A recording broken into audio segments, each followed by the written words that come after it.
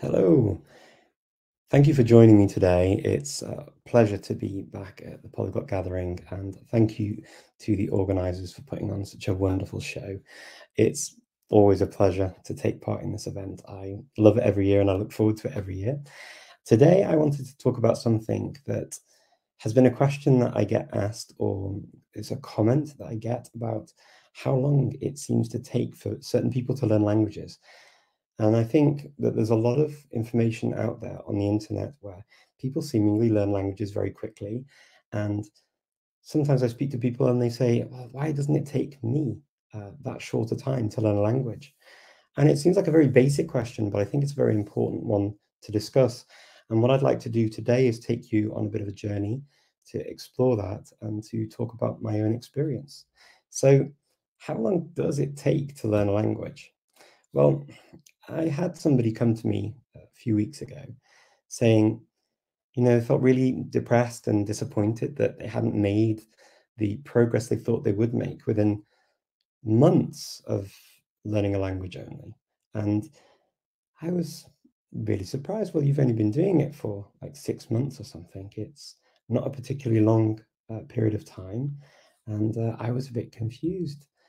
They said, well, they looked at other people who seemed to be winning all the time. They were getting their goals, meeting their goals. They were speaking the language. They were creating videos. They were answering questions. They're doing all these things that seem to be the things that they weren't doing, maybe. Well, they didn't really know because it seemed almost like a dark arts. Um, people were apparently speaking languages in a very short amount of time. And I was trying to get over this feeling of them feeling like they were a loser and you know why couldn't they win like the other people? And and we we talked about it. And you know sometimes i think with languages it can feel like we're on you know the road where there is mist and fog and we don't see the road clearly. So it feels like we're going on in the fog forever and ever and ever whereas it feels like other people are just sort of on this straight road and it's very clear and it's all very calm and it's all very easy and very uneventful eh, almost. It just happens. And of course i know that's not really the case. So i wanted to explain german and my life and how that's been. So many many years ago i released some videos on youtube and I, the very first one i released was about me speaking 16 of the languages I'd studied at that point. And then not long after, I released a, a video as well where I was speaking German. And I explained that I studied German in a very intensive way in Germany. And I had to speak German uh, to go and sit an exam to uh, be able to study German and uh, having not ever studied it before. And I did that by going to Germany and within a three month period. And of course, we all know the language in three months idea. Um, you know, Benny talked about that a lot. That's his brand, and and so that's one of the sticking points really when we get to this question of how long does it take, and the idea of putting months onto it, or weeks, or days, or years, or whatever it is. This idea, and I felt maybe I was contributing to that of, you know, I learned German in three months. Well, did I really learn German in three months? Is the question, and this is where I find using the term of three months or how measuring time in that way quite challenging and difficult and also maybe a bit misleading. So the person I was talking to had been doing their language for, as they said, months and months and months. And there was me releasing a video, speaking German, and saying I learnt German in three months. And of course, it's kind of true. I went to Germany and I spent three months and I hadn't studied German before. But the perception of me being this person that, that spoke German in the video after just three months of German is a perception. It's not the reality of my story with German. In fact, far from it. Um, you know, that video wasn't made straight after I came back from Germany. Uh, that video was made later. Uh, so that's one aspect where that doesn't really fit. The other thing is that before I went to Germany, I came from a country where we speak a Germanic language. This is my home city of Chester. And in Chester, we speak English and Welsh, and the English that I spoke as a child growing up, and also uh, the types of dialects that I had uh, spoken around me of English, meant that I was actually quite aware of a lot of Germanic vocabulary. So I had a basis in Germanic languages before I even started to go to German. I already knew the word hand, I already knew the word arm, I already knew the word finger, fingernail, fingernagels, not so far away, Schulter, shoulder. You know, you have lots of those kinds of things. Swim, swam, swum, drink, drank, drunk. They're all very similar. You can get a lot of help with learning German just by knowing English. Even the strange numbering system. We have a song in English, four and 20 blackbirds baked in a pie. And of course, four and 20, 24, we know, go together. And that's how we used to count in English. So in fact, having that background of English really helped me to learn German a lot more quickly. So I wasn't going as a complete beginner, even though I'd never really studied German before. The other thing that I had in my pocket was I had already studied Swedish at university. So I already had access to a number of other words that other English speakers don't have access to. So, you know, things like wichtig, important, were very similar to the Swedish words that I knew there were also a number of other words that I knew from Swedish that really helped to accelerate my study of German. And then I had time. So, yes, I was there for three months, but how often and how long was I studying? I was studying every day for about eight hours. That's a lot of time to study a language. And also, I was in the country speaking it to people, hearing it all the time. I was talking to people outside of my study. I was watching TV, which the TV option I had here is no longer there, but I had a nice picture of a TV and I don't know where it's gone. But it, the TV, I was watching that. I was talking to people and I was using German all the time. So I had no way of escaping it. This was before the internet. This was before um, you know, smartphones. So calling home and speaking English was actually a very expensive thing to do and not something I could do very often. So, yes, three months.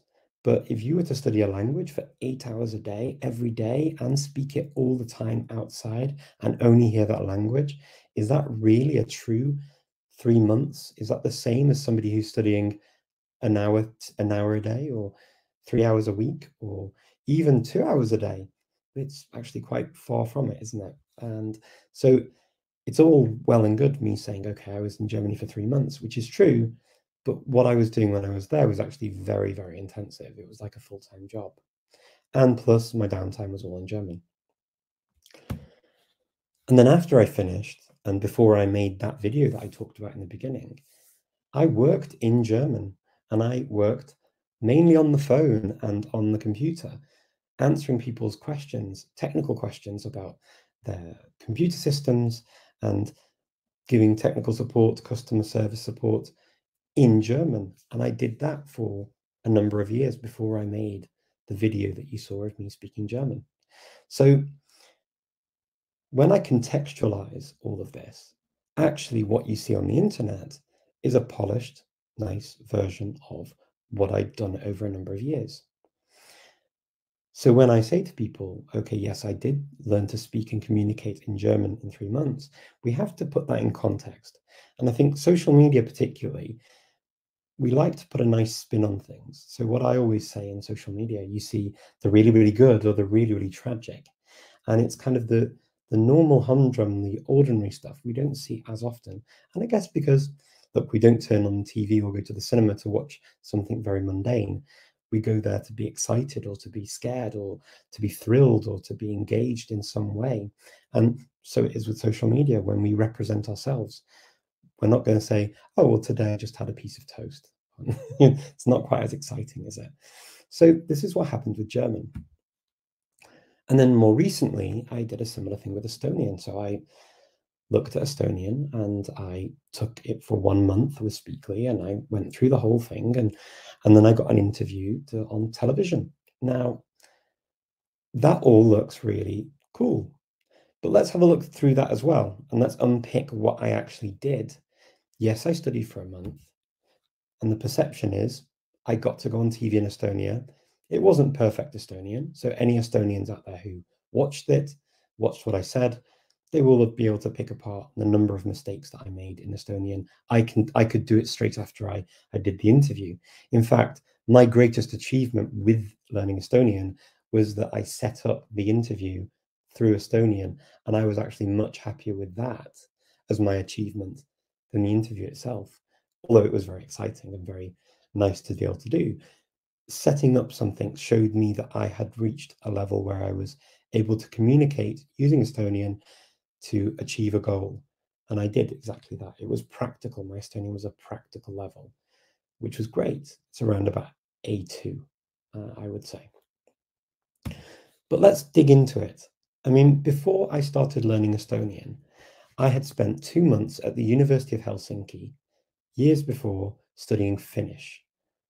I was at a point where I could communicate my basic ideas through Finnish I had completed two and a half books of the Suomen uh, and I was using Finnish in a very practical way around town. I wasn't by any means fluent, or you know, I would definitely not describe myself as any even intermediate, but I was able to communicate and get around the city using Finnish. That background really helps when you're learning a language like Estonian that's related to it. So again, even though I spent a month studying Estonian to do this interview, the context helps you to see that actually to achieve that, there's a lot of stuff that went before it. And it's not just me picking up a book of Estonian and doing an hour a day. In fact, with Estonian, I also had German, and German helps me learn Estonian because of the vocabulary. So I'd had all of that information from German. There's a lot of basic Estonian vocabulary, and sometimes the verb forms feel similar to German. So you actually draw a lot of help from those kinds of other experiences that you have. And that's how it worked for me with Estonian. And the time involved. I wasn't studying Estonian for one, two, or three hours a week, or even an hour a day. I was studying Estonian for four hours a day for a month. Four hours a day, every day of the week for a month. And I was speaking to an Estonian on italki pretty much on a daily basis for the first couple of weeks. And I was practicing everything I said. So, all of this going into a month study gives you more of a context as to what can be achieved. Now, the reality of studying and watching TV and doing all these things when you're learning a language is a huge, huge help. A huge help. The difference, though, and now let's change it around a bit. When I was learning Korean, I was I've been studying Korean a lot more slowly. Now, take on Korean, people have this idea that I'm going to learn it really quickly and I'm going to do really well with it, along with other languages. And I get asked, well, surely you're going to learn it really quickly. Well, maybe, maybe not, who knows? But I've been taking it a lot more slowly. The reality with Korean is that it's been a way slower I've not been doing as many hours a week.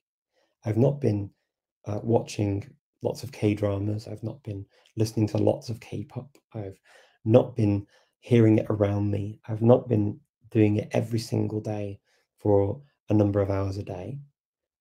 And so as a result, progress is a lot slower, even though I can say I've been studying, uh, I started studying Korean over a year ago. I mean, it's a long time to be studying, right? A year. Why have I made so much progress? Well, it's a lot slower.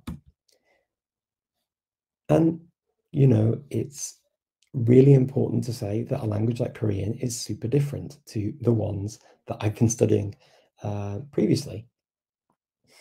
Different sound systems, uh, there are different sounds, different writing system that I had to learn. Um, also, the grammar is quite different. I'd done some Japanese and I'd done some Chinese before, but it's still not enough to help me really get ahead with Korean. And so the progress was a lot slower. Even a language like Cornish, this is a beautiful place in Cornwall. Um, I also, the reality for me with Cornish, which is related to Welsh, which is a language I do speak, has been quite different. In fact, I deliberately don't want to go quickly with it. I want to go slowly. And I do maybe four, five hours of Cornish a week of study. It takes time to get through that material, to internalize that material, to make it become natural and automatic when I speak, to get it right, and then to go over things that I would normally and usually forget. This isn't something that happens just like that. Even after a number of languages, it takes time to learn a new language.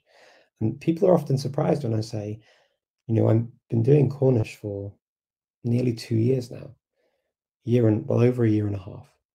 And I'm preparing my second exam in Cornish. There are four exams you can do, and I'm preparing my second one. And it's around about an A2 level. So we're not talking a very fast pace because there's a lot of vocabulary to cover. There's a lot of things to learn to be able to communicate in in an efficient way. And that just takes time. Um, and so whenever I tell people how long it takes me, similar thing with Irish, it takes months for me to get to a point where I want to, I feel comfortable talking, particularly if the language is quite different and new, and I'm not doing that many hours. So uh, my thought is I don't worry about it. I, you know, worrying about how uh, it, it's going to go makes no sense to me. So I worry a lot less about um, what I'm doing. I worry, I focus on, on on the progress that I'm making and make sure it feels like it's going to stick. For me, that's the important thing, because if I rush through my studies, then I'm not going to get anywhere very quickly because I will also have that high level of you know attrition. It will forget things. I can quite safely say the difference between my Estonian and my German is that with German, I have continually used German of very intensively since then for many, many years. With Estonian, that's not the correct case. So after the interview, I actually used it less and less. And so now I'm sort of finding that I am having to go back over things again because you need to compact and compound the language learning that you do because unfortunately with a language you don't just progress and go to a new topic and move on you have to bring the whole base of the language that you've learned with you on the journey it never goes away you can't suddenly forget how to conjugate you know a certain verb in the present tense or the past tense you have to take all of that with you and continue to grow and learn and move through the levels so the learning process isn't as simple as how long does it take? It's how long does it take plus how long does it take to re revise, retain, repeat, make the language become automatic. So worrying too much about how long it takes for me isn't the goal. It's caring about and taking time over how long it takes to get that practice and make sure that I get it in. There are many ways to learn a language. There are many ways to get this right. And so the idea of my way, for example, could be different to your way. It could be different to somebody else's way. And that's fine. Um, there's no one way to learn a language. And there's there's one thing I've learned from years in this language learning community. There's enough space for us all to have our different methodologies, to have our different ways of learning and that's all fine. It's all good. As long as we're happy with our journey and our way, and we feel that we're making progress that we can be confident that will serve us in the future, then that's all that counts. So, learning to find your way, not worrying too much about how long it takes to get that way and get to the goal of speaking the language isn't so important. Just getting finding your own path is the is the really important thing. My whole philosophy really is to do with a holistic view of language learning, and I run and have been running now for um, for about five months, four five months, language learning therapy sessions where I talk to people who are learning languages and we we work through problems and issues that they're going through. And sometimes it's not just to do with language learning, sometimes it's to do with with other things that are going on in their lives and we have to acknowledge what's going on and what we can do differently and what will affect the learning process and how we can maybe make small changes or even big changes in goals in the types of activities we we can do or find interesting uh, or even are effective for us. And for each individual i find that that is actually different each time. Not everything works for everyone and finding bits that work for one person and work for another is actually really important. Because it doesn't matter how long we talk about it, the journey of learning a language the important thing is that we do it in a way that works for us and works for our, our day and our life as it changes because our life changes on that journey too. And so my way of doing things is to take into account all of these different things. What you bring to the table when you learn a new language what other experience you have what you enjoy doing what you like doing not just when you're on top form but also when you're sad and depressed when you're hungry when you're busy at work when you're on holiday when something happens that occupies your thoughts and your mind so that you can't concentrate in the same way. It could be something in the news, it could be um, something at home, it could be something with a relative or a friend. All of these things affect us. And so, talking about how long it should take us to learn a language to me becomes less relevant. And what becomes more relevant is how long a journey you, can you can you be happy with? Can you make peace with the fact that this journey may change on the way?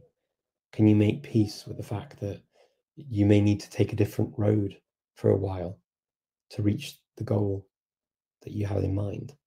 Could it be even that the goal changes? And for me, these questions become more important than how long does it take to learn a language? And that really is all I wanted to say about this today.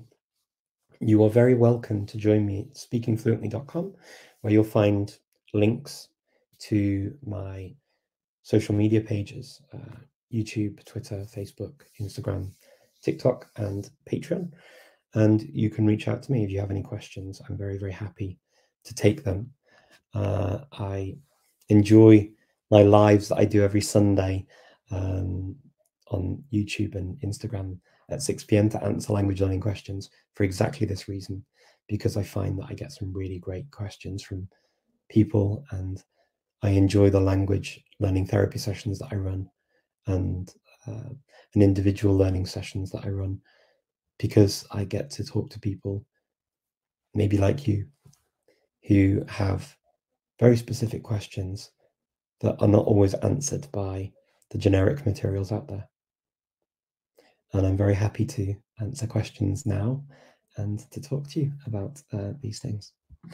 Okay, let's see.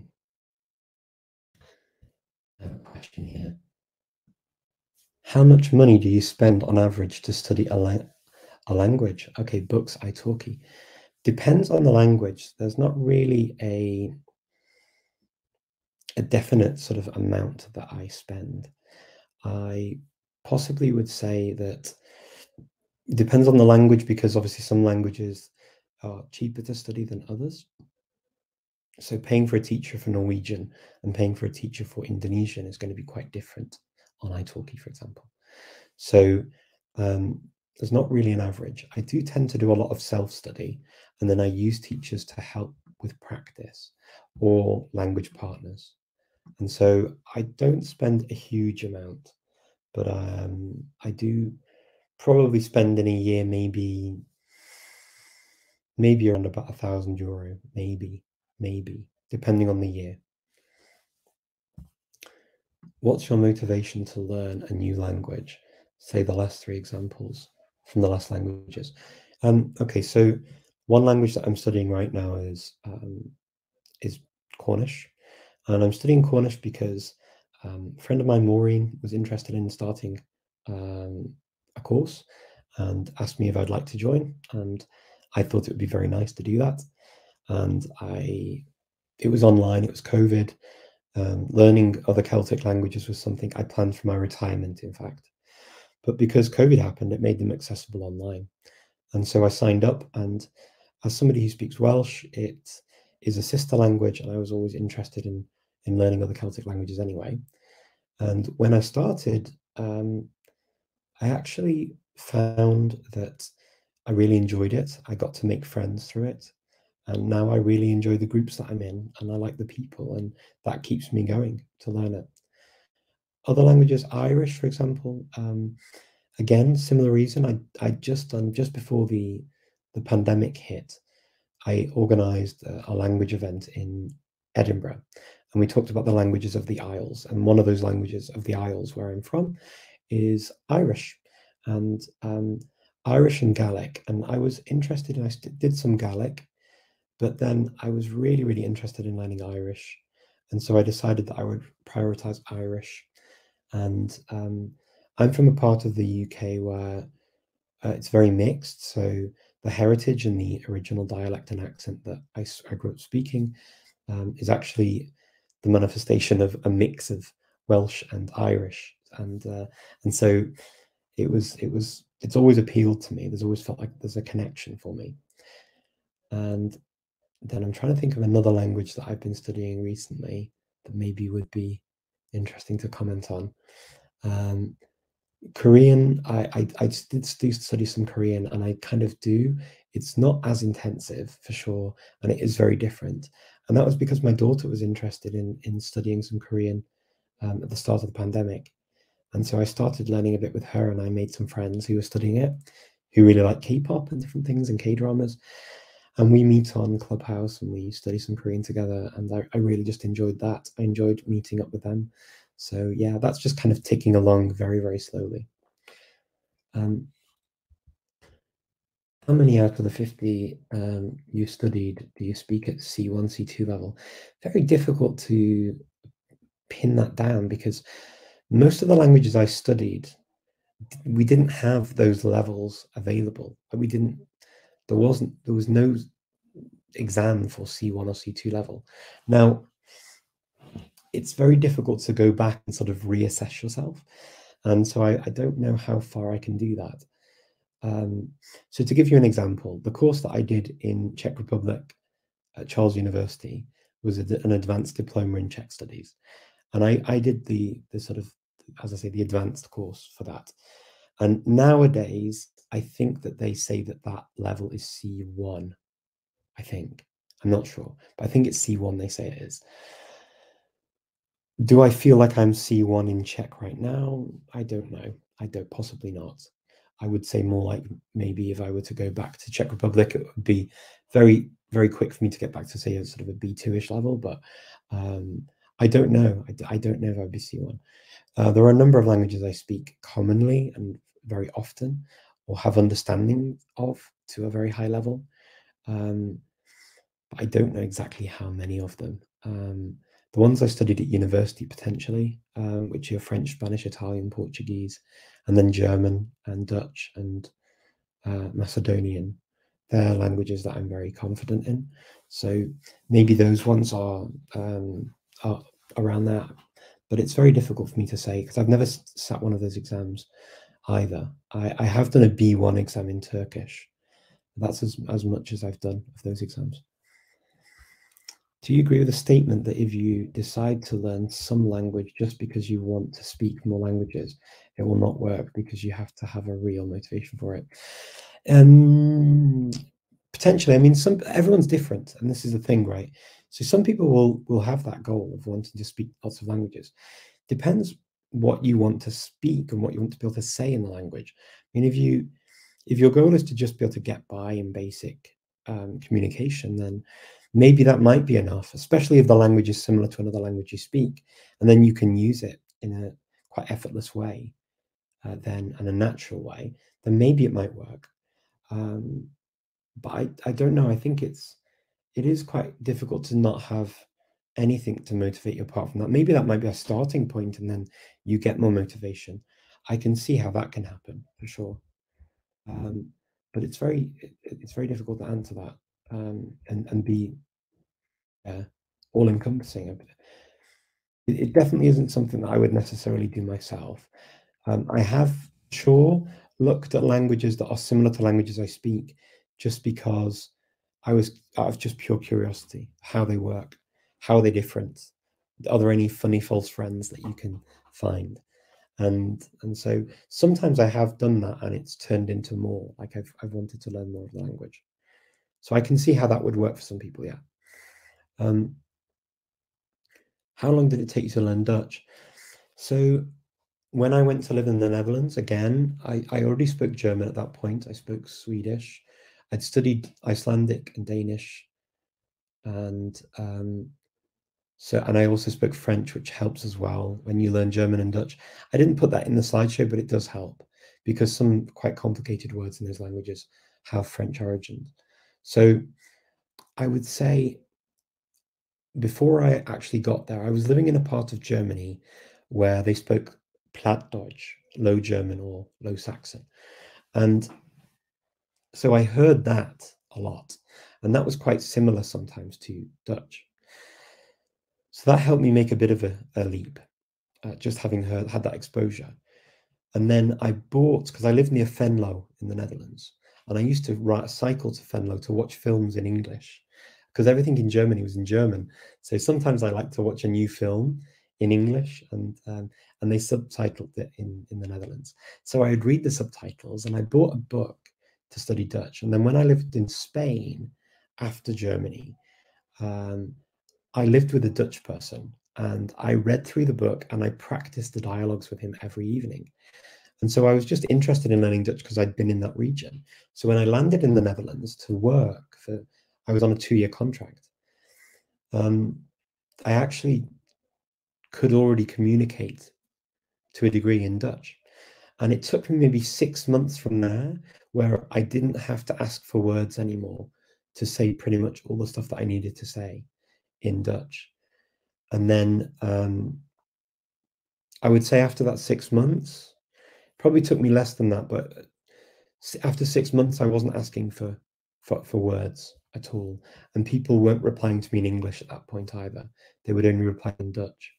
So roughly, but how long it took me depends which level, I guess, you, you're talking about. I could communicate my idea, my basic ideas when I arrived, and that was maybe three months in Spain, talking to my my Dutch housemate.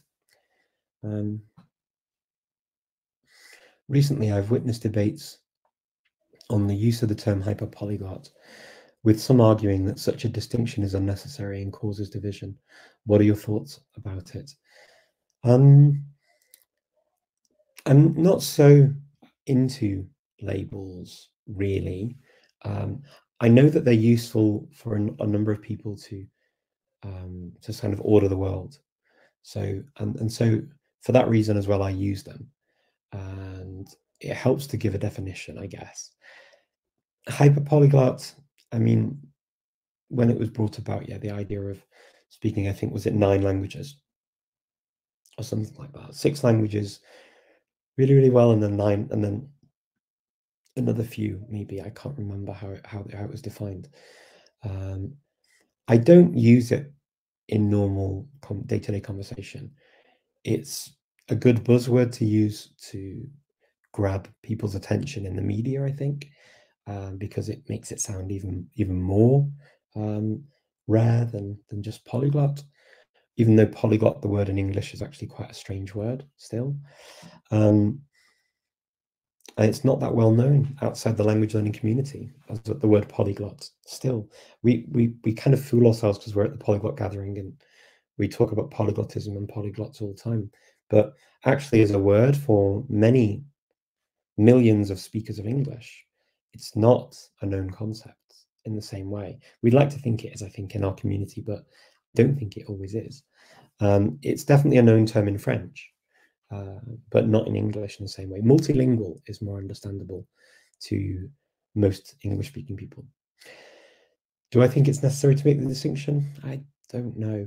Personally, I, I, I don't really, as far as I'm concerned, the term polyglot to me has come to mean somebody who's very interested in learning languages that they don't need for their normal day-to-day life. and or you know their family or surroundings and they learn languages that they don't necessarily need. And if you speak one language or you're learning languages and you identify with the idea of just this love of learning another language or languages and you like the term polyglot because it helps you belong to that group of people then i say welcome to the club because we're glad to have you. So yeah polyglot hyper polyglot yeah. As long as you like languages i think you're fantastic so Actually, I like people who don't like languages too. I'm not going to just to just to say I've got a number of friends and family members who don't necessarily like languages like I do. They're also okay too. but yeah, um, okay. If you if you were to give us just one piece of advice, what would it be? Wow, uh, one piece of advice would be doing something every day is is the thing. Like even if it's just a little bit because the worst thing is when you stop. And if you or if you do stop this is the thing if you do stop make sure you've agreed with yourself that you're going to stop. Let it be a conscious decision that you say i'm not going to study this week i'm not going to study the next two weeks and make it a conscious decision. The worst thing you can do is to let it just slide and then feel guilty at the end of a week or two weeks or even a day of not studying and then you feel like you can't go back or it's very difficult to go back. And then if you can't then when then when you do go back you can sort of revise what you've done and move forward. But doing your studies regularly is really important. Um, i know maybe, maybe people maybe say that but it is really important. Um, just psychologically it's important. And don't be afraid to take time over um, a book. Like I had somebody once say to me, you know, they were gonna they were doing like a chapter a week of a book, and the colloquial Swedish book that we used, we we did over a year at university. It took us a year to go through the whole book, just to kind of give an idea of of what kind of amount of of details in there. We supplemented it with other things, but it took a year. Whereas I think sometimes people will go through that in like a month or two, and and then wonder why they're not retaining the information. Well, it's very very quick to go through that that that fast. Um, unless you're kind of in sweden speaking it the whole time or in the country speaking it the whole time.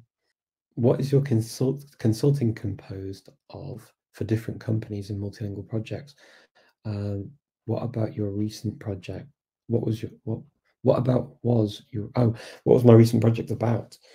Um so my, the consulting I do for companies is um, different to sort of language stuff in terms of like language learning. It's not to do with that. Um, so I, I, get involved in recruitment and assessment of people's language skills to work on multilingual, multinational projects. So I, I work on that.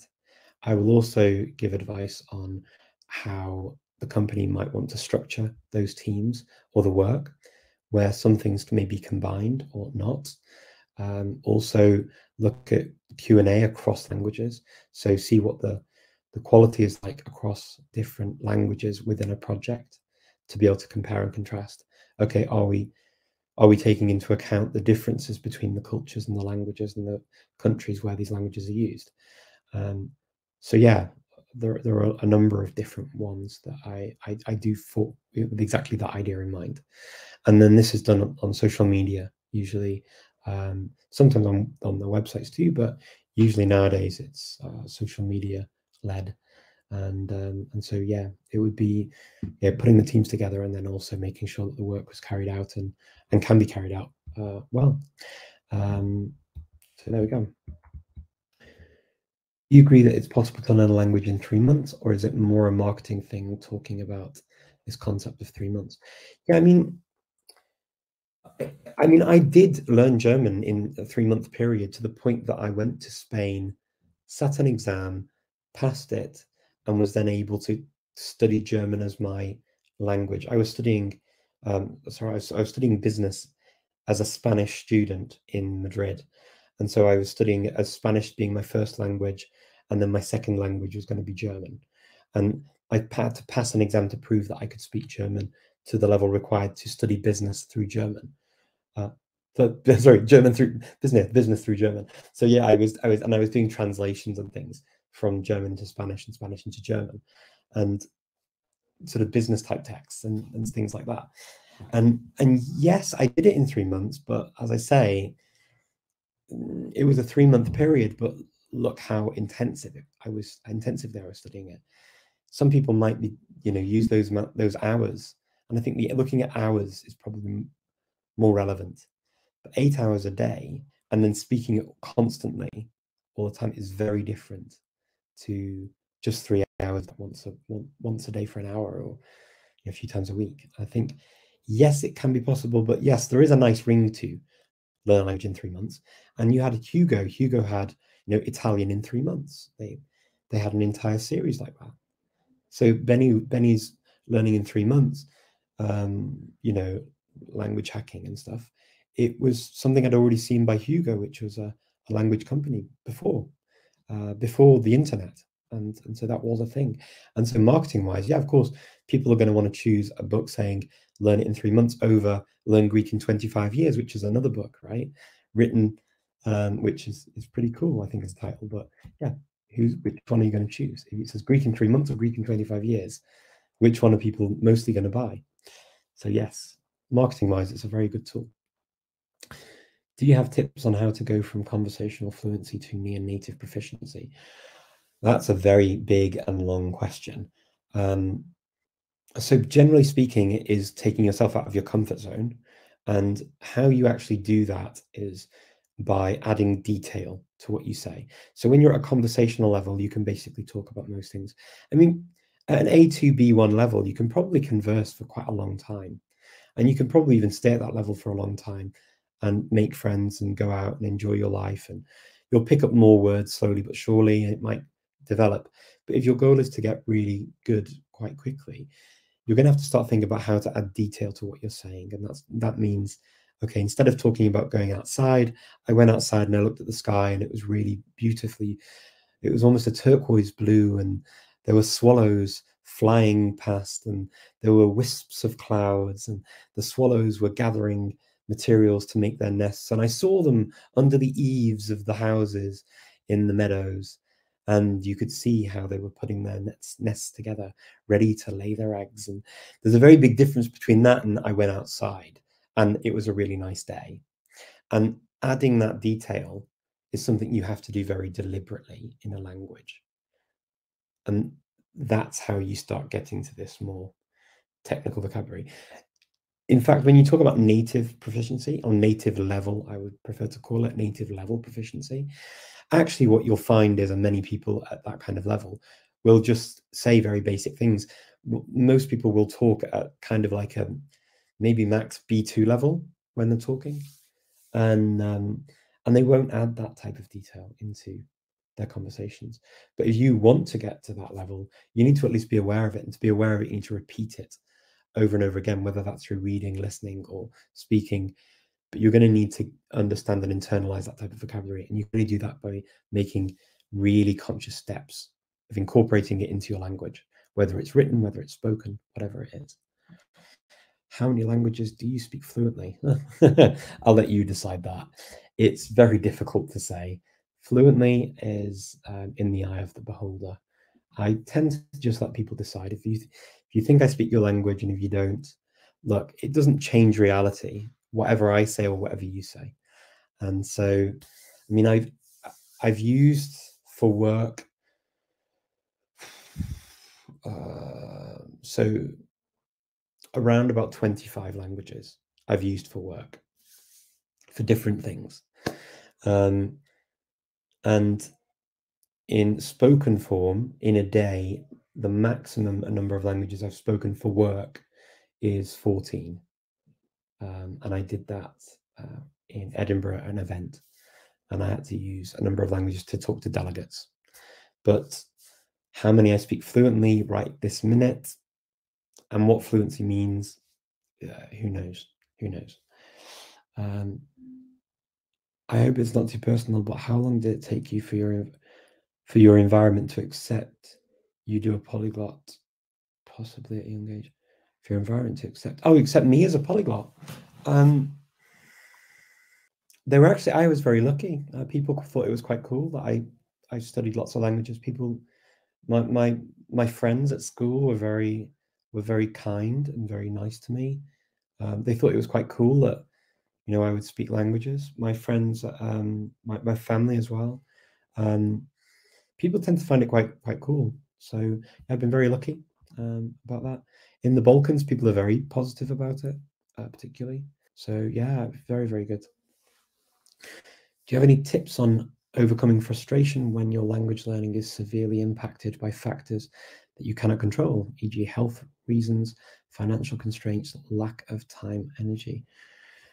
Um, this, I think, is where it comes back to the holistic thing and being realistic. Because getting frustrated with something we cannot change yes, the frustration might still be there on the level, but acknowledging why it's there and acknowledging what we can actually realistically do about it can help to ease the frustration. And this is where I think when I talk in groups as well with people, particularly, or work individually with people, this is where I find that quite a lot of really good stuff comes out and we make peace with certain things. And I think it's important to make peace with certain things. You know, I might desperately want to be an astronaut or a doctor. That's not going to happen at this stage of my life. Um, I might even, you know, long for it, but we have to kind of make peace with our reality, because if we don't, it's a very miserable existence, and I don't think any of us really want that. Um, so yeah, I think finding that and talking through it is really important. This is why holistic is really important. Thanks for the nice sessions and honesty. Your ADHD Deswegen fragt mich etwas ab. Siempre, oh my word, siempre tienes un, un, un bien, un buen foco en tu nuevo idioma. De, de veras también convivimos los tres idiomas. Adjetivo. Sí, sí. Wow, okay. I don't know which language to, to reply in, uh, but thank you for making the effort to try and write in lots of languages. I really appreciate it. Um, I'm, I'm going to stick to English because I, I don't know which language to uh, to do to, to reply in here otherwise. Um, so my focus is it depends on the language. So sometimes I have short-term projects where I I plan to learn a language to go to a place. Sometimes I just want to understand how the language works and get understand the the structures of the language, get an idea of the basic um, vocabulary, that kind of thing. Um, other times it's because I want to get more into it and more involved. And those things tend to take longer um, over a longer period of time. Uh, but yeah, the focus is always different. And I'm, I try to be very clear with myself what I want to do in the beginning and what I want to achieve. And I always find language exams help with that, like courses. That's why I like courses so much, because I find that I've got the course is already laid out for me, so I know where I'm going with the language. Um, so doing the Cornish exams for me is a lot of fun because I know what I'm doing. I know where I'm going. I know I know the steps to get there. So yeah, that's that's kind of what I do. Um, let me see. Language learning sessions potentially open to people who are watching this talk? Absolutely, they are. Feel free to get in touch via the speakingfluently.com website, and you're very, very welcome to to check out Patreon or to check out um, check out the, the, the other channels. You can write, reach out to me. You're very, very welcome. Absolutely. Um, what's your tip uh, with learning multiple languages at a time? Specifically, how do you decide to split up your focus to each language when you want to learn everything? Oh, wow. Yeah, um, this can be challenging. So when you learn more than one language, basically you're splitting your thinking capacity, not just your time, but your ability to think in different languages. So you're splitting a lot of things when you when you learn multiple languages. So it's it's challenging. It depends on the languages. Some languages are similar to ones you already speak potentially. Others are more different. So I find that uh, depending on the combo, it, it really changes. Um, just saw your cooperation with Walter. Okay, before this event, do you think this entertaining way he is doing is a good idea to promote language learning? Um, so I, have met Walter a few times. He's a nice guy. Um, he goes on the street, he makes people smile. Um, and if somebody watches a video like that and says, oh, just by speaking a few words of a language, to another person and trying to understand them and trying to speak up like how they speak. If if that helps somebody come to learn languages then yeah i think it is fun uh, and good. Um, i don't know how everyone reacts to that everybody seems to have very different reactions to this kind of thing. Um, i'm i tend to be open. If it's not something that appeals to you i would say don't watch it. If but I, I, I am aware that there are people out there who find out about the language community through people like Walter. And I think that's a positive thing. So we all have different roles to play in the language learning community. And I think there's room for us all. You know, just because one person does one thing and we don't all agree with each other, or we don't all agree with the same methodologies or the way we learn or the way we exhibit what we learn, uh, doesn't necessarily mean that they're all all bad or all good. It, there can be a mix, right? And so I think that there's room for a mix. I like a nice salad bowl in my life, and um, I like to enjoy all the tastes, flavors, colors, and everything of the salad bowl. And the languages that we all share and enjoy is the dressing for the salad. That's that's what unites us, that dressing.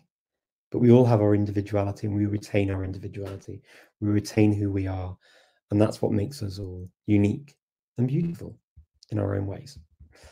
Um, Okay, so I think we've got to the time. There were lots of questions. Thank you all so much for your questions. Thank you so much for uh, taking the time to join me. And please feel free to join me um, on my lives on YouTube and Instagram, which are at 6 p.m. Central European Time every Sunday. And I will look forward to talking to you all more very soon. Take care, everyone. Thank you.